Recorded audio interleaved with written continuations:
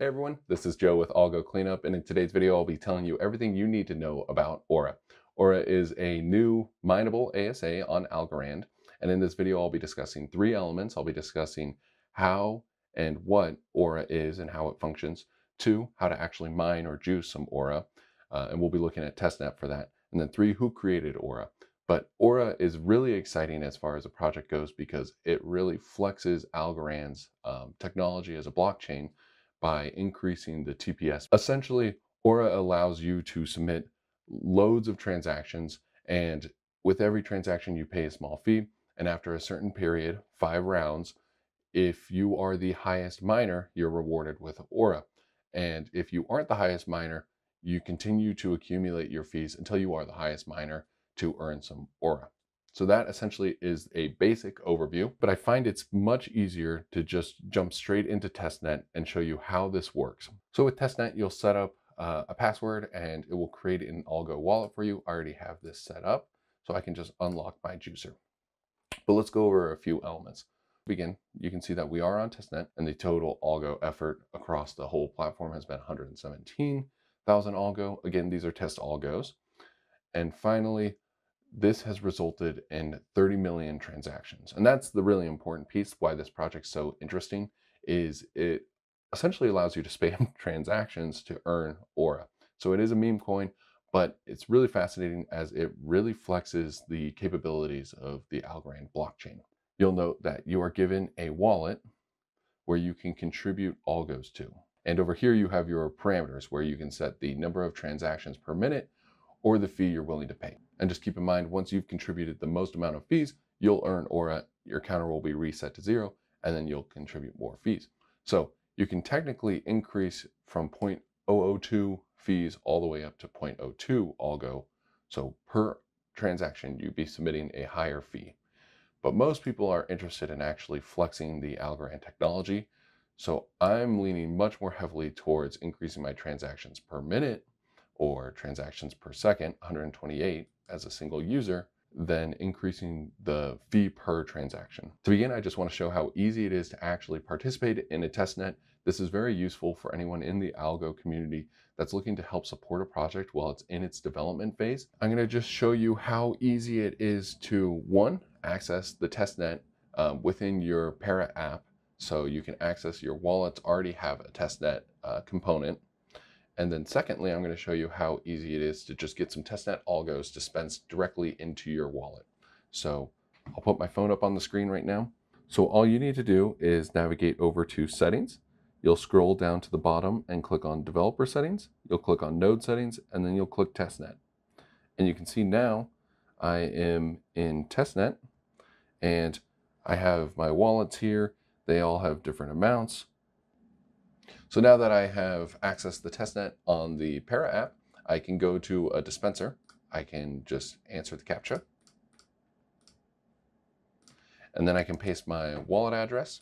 I'll click dispense and you'll note that it was successful. And you can see in my app, the 10 test algos just arrived. And so you'll get a notification it's really helpful to understand how easy it is to access your testnet wallets and how easy it is to actually get some algos to play around with so you can actually help these uh, developers and builders test their um, applications as they're being developed. So we'll just come back over here and I already have some testnet algos in there, but let's go ahead and add a few more. So it the app works exactly how you would expect it to. I can just scan my wallet address and then I can say send a transaction. I can select Algos and I can send it 10 more uh, testnet goes. Click next, confirm the transaction, and the trans transaction's been submitted. And sure enough, we can see that I now have a balance of 22. You can see testnet is very easy to access and it works extremely similarly to uh, the actual live chain.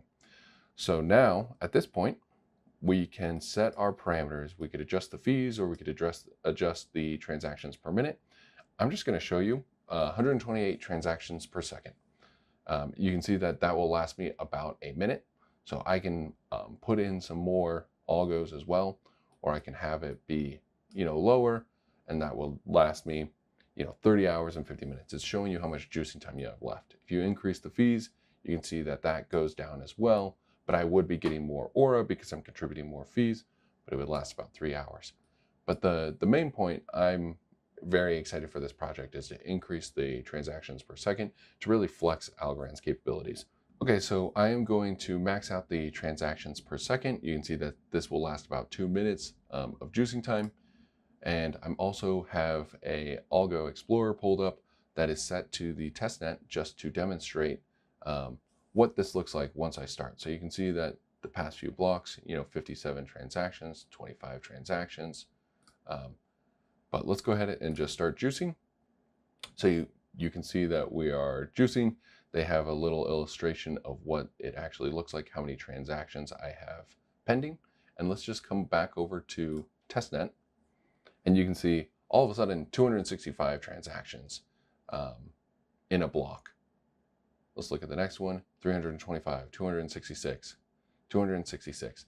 And you can see that as a user, I'm spending a tremendous amount of transactions as an individual. And you can see that I'm continually earning ORA, 4.19 ORA, 4.19 ORA. And so again, this is just on testnet. This isn't correlated to uh, the live version, but I just wanted to show how this actually works. And you can see that I'm essentially winning each one because I'm contributing the most fees. As an individual, I have drastically increased the amount of transactions happening on testnet. And we can even see that I am showing up in the leaderboard for the you know last thousand rewards. So I'm, I'm showing up right away. So it's working as expected. Um, you can see that my balance is going down. 23.89 algo in this wallet, and it will continue to go down as I continue to juice, but I'm continually earning those rewards as I'm submitting these transactions. So just a couple other um, interesting points that I find is very helpful to provide some additional context. Um, ORA is a unique Algorand standard asset, unlike typical coins distributed via presale or airdrop its entire supply is locked in a smart contract and it's only accessible through juicing or mining. So that's what we just demonstrated on the testnet. Uh, ORA was born from the four oranges meme. So you may be asking why oranges? John Alan Woods, Algorand CTO, recently was in a debate defending Algorand in Coinage's Project of the Year award, where he compares Arbitrum's TVL metrics to not holding much meaning like my mom has four oranges. I'll just play the clip now. You know, I can pull metrics out of the air to whatever 8 million transactions over the last week. I don't know. My mom has four oranges. I don't know. Juicing replaces Bitcoin's hashing power with fee spending. A top spender is chosen every 15 seconds, five Algorand rounds, and rewarded with 1.05 ORA, which is different than the testnet amount, but this is the amount that was settled on. It's a balance system favoring both those that are persistent, you know, having a lower transaction per second amount, and those that are big spenders. Essentially, what I was doing on testnet. Fees are returned to the Algorand network, um, akin to burning algos. A max fee limit of 0.02 algo per transaction prevents ORA sniping and boosts network throughput. ORA shares Bitcoin's 8 decimal structure, it undergoes a halving process roughly every 330 days.